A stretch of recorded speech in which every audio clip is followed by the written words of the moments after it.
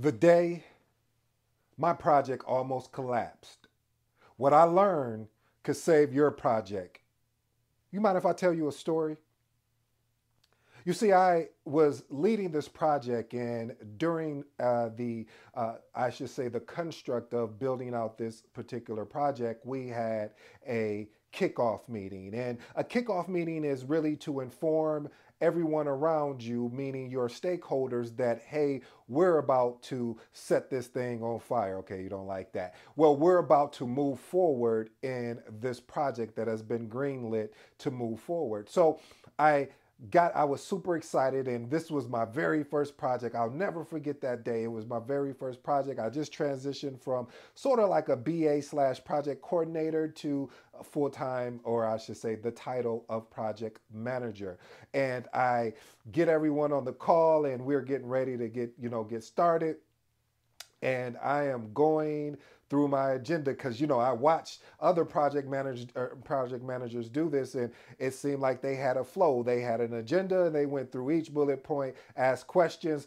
Voila, that was it. Well, I actually did that and it wasn't any voila. What it was was, ooh, what about this? What about that? How are we going to do this? What? and it was a flurry of questions. Hey, if you're new to the to the channel, I go by the name of ED. For you smart and intelligent folks out there, that just simply means Ed. Today's episode is entitled Strategies Top Project Managers Won't Tell You, but I will. Essential strategies for project kickoff meetings. Again, strategies top project managers won't tell you, but I will. Essential strategies for project kickoff meetings. I got a quote here from Andy Stanley. He says, Leaders who don't listen will eventually be surrounded by people who have nothing to say. Mmm, that's heavy right there. Uh, as you know, I have an eight point framework. One of these these eight points, I just basically unpack today's uh, title. If you don't know by now, again, I go by the name of for you smart and intelligent folks out there. That just simply means it. First topic of today is develop a collaborative agenda. See, when I was giving you that story at the beginning of of, of the episode, I was explaining what I thought that I saw, but I didn't see what I saw. Okay, maybe you don't understand what I mean by that, family. You see, what I thought I saw was a project manager. I was modeling with that project manager what I thought they did, but see, what I wasn't aware of is that they had a collaborative approach to the agenda. So what they did was they already knew kind of who the stakeholders were because on, on their project charter. It was identified. So he went to those resources and said, who else do we need to get to be part of this project? You know, identify your stakeholders. And then he went and met with them in a group setting or those particular departments and say, hey, I'm getting ready to do a kickoff meeting. And because I'm getting ready to do a kickoff meeting, I want this to be a collaborative kickoff meeting. I don't want it to be I get on the call and I'm dictative. I'm basically me saying, hey, this we're going to do this, we're going to do this. I want to more or less be able to get you engaged into the agenda and really to establish a foundation, which that foundation is the actual expectations. What can you expect on this project and what are you expecting on this project and how you're going to be able to collaborate. So that's why I said point number one, family, if you don't know any of the rest of the points that I delivered today, this is a major one. This is a game changer. Anytime that I have a, a, a, a amazing kickoff uh, or I should say, leading a project, and I take this approach. And again, you have to have stakeholders that are willing because you will have stakeholders that's like, hey, they won't even answer you. They'll say, no, I'm good. I'll just wait to the kickoff meeting and give feedback. But when you have those exceptional, mm, those exceptional uh, project, man, I should say exceptional stakeholders, they're going to want to collaborate because they know the success that they have on the project, the easier it is going to be for them to do other things. Because again, as we know, a project is a what?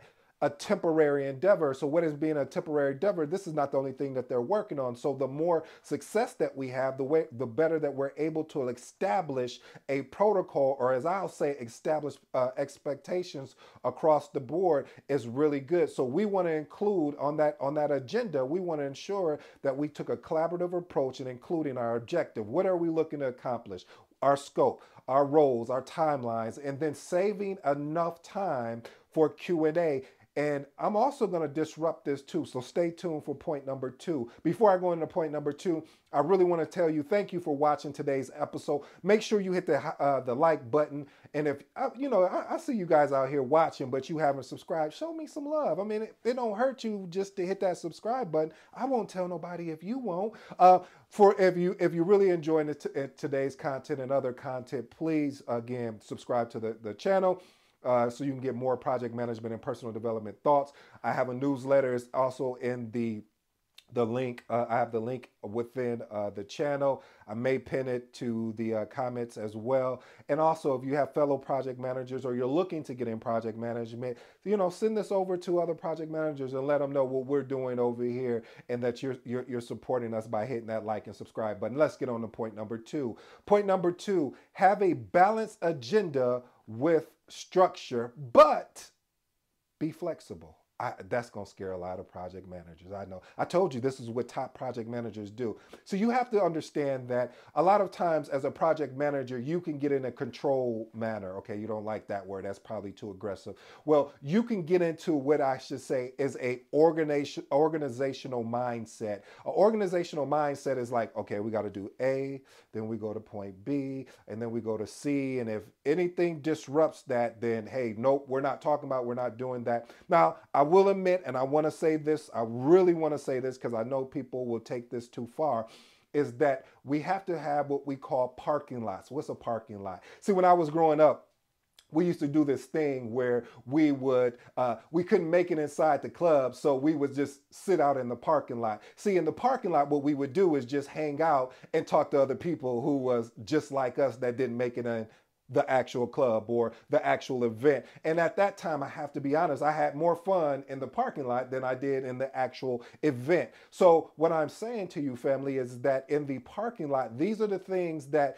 we as a project manager you want to document and put those there and then if we have time to get to them now here's the contradiction and i know again that's why i said I, here, here it comes the contradiction is though you still need to be flexible as a project manager as you're leading it you have to make an informed decision hey, is this applicable to the conversation? It wasn't on the agenda. It wasn't something I was thinking of covering, but that stakeholder may just have a really excellent point there. And if they have an excellent point there, I think we need to go ahead and include this. And it may disrupt the agenda, but isn't the isn't the goal, or I should say, the outcome of the project is to what meet the triple constraints. What is meeting the triple constraint? Uh, triple constraints, meaning either being on budget or even saving money. Uh, your schedule, also your uh, I said your schedule, your schedule, your cost, your quality, as well as uh, your scope. Being able to meet all of these in a measurable measurable aspect is what our outcome is, and then having a basically having a successful uh, outcome of the project. So family, don't be um, I don't want to use the word afraid, but don't get don't don't get intimidated by if a stakeholder does disrupt your agenda because what you can do with that is use that to your advantage because you may need to bring that particular point in. All right, let's move on to point number three.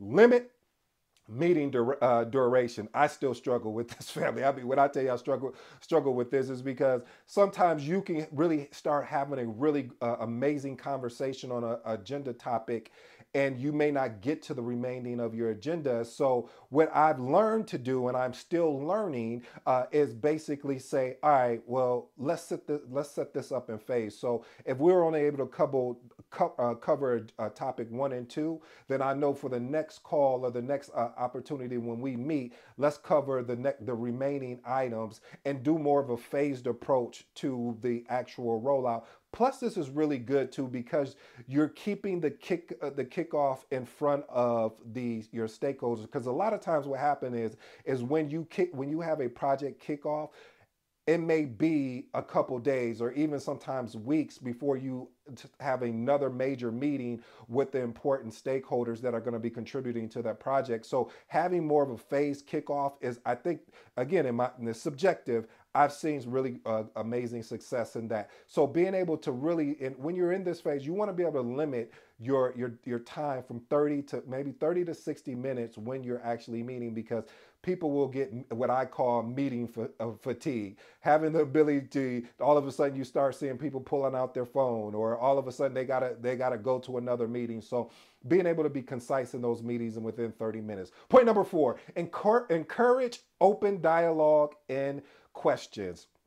Listen, the ability to allocate time for Q&A and encourage participate participants uh, as I should say, stakeholders to voice their opinions and foster a culture, a culture of open communication. If you know, if you haven't learned by now, I'm always pushing uh, collaboration. I'm always pushing, let's have a open conversation. I'm always pushing, hey, let's have a safe area to have that open communication because when you're able to do that and be transparent, family, what tend to happen is, is that you'll be able to get more out of the project. Everyone will have an opportunity to give their feedback at the same time you, you're able to, you know, because at the end of the day, it's about the outcome of the project of having a success. Let's move on to point number five. Point number five is use visual aids and tools. One of the things that I, I, I enjoy doing, and it depends on you know the, the, the work environment. Now Zoom has a really amazing tool uh, with polls, so leveraging polls because you want to be able to keep your audience, your stakeholders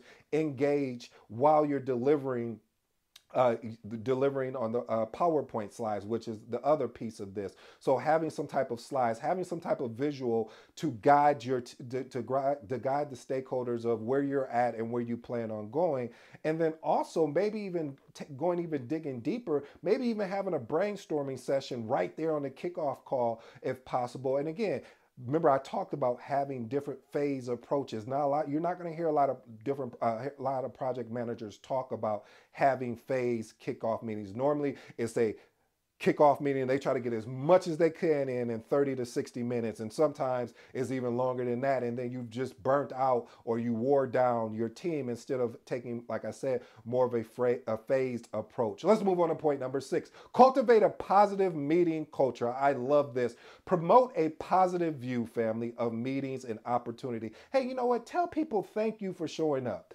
because they don't have to be there. Yes, I know they're required to be there, but they don't have to be there. When I say they don't have to be there, they don't have to pay attention. They can just actually just be there and just really not care about what's going on and just like okay when is my what do i what i have to work on what are my tasks what is the next thing for me but when you create when you promote a collaborative uh, approach to uh, having these meetings, you will be shocked and surprised because now your participation goes from being passive to active. Let's move on to point number seven. Clearly define roles and responsibilities. Can you say create a RACI? What is a RACI? ED? Responsibility, accountability, consult, and inform. This is what we call a, a, a RACI matrix. How this works is basically you want to take your, th- uh, your team to uh, through this. How, how this helps, it allows people to know what they're responsible for, what they're accountable for, what they need to be consulted on, and what they need to be informed on.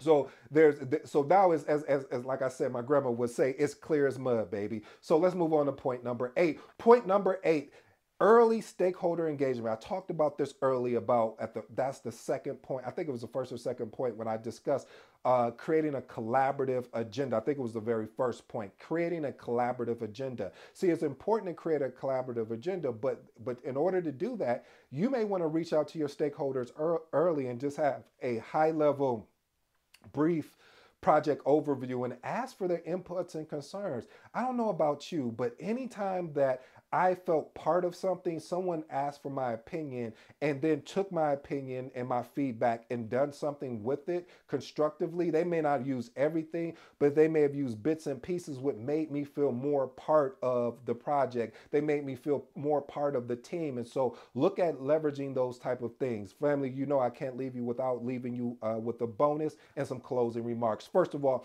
my, my, my bonus that I have for you today. Regular check-ins and feedbacks. Listen, after you have that kickoff meeting, if you don't have another uh, meeting again for another week or two, make sure that you are sending out some type of communication, some type of uh, connection, just to let the teams know that your stakeholders know that, hey, we are still here and we're still working through some things on the back end, but we want to keep you engaged and let you know where we're at and what is the roadmap of us moving forward. So this this allows them to know, hey, so when we do reach out, when we say, hey, it's go time, then you know it's go time. Listen, family, I have three closing remarks for you. First point, as I talked about, develop a collaborative agenda. Point being is being able to engage your stakeholders um, early in helping you build that particular agenda so they can feel more engaged and be a, watch this family, an active participant versus a passive. Point number two, being able to, uh, again, use early stakeholder engagement. Early stakeholder engagement, I know it kind of ties into point number one, but the point I am trying to make is the earlier, the better. Point number three, establish clear communi- communication styles. I'll talk about it in the book back behind me, family, The Magnetic Project Manager. If you haven't, go pick that up. We're in Amazon, Barnes and Nobles, your local, uh, hopefully soon in your local uh, bookstores. But what we're, what I'm saying there is, communication is has to be key. So you need to identify what those communication channels are for your, your stakeholders that's going to work. So again, family, I hope you enjoyed today's episode. I go by the name of ED. Until next time, you know my slogan. I'm out.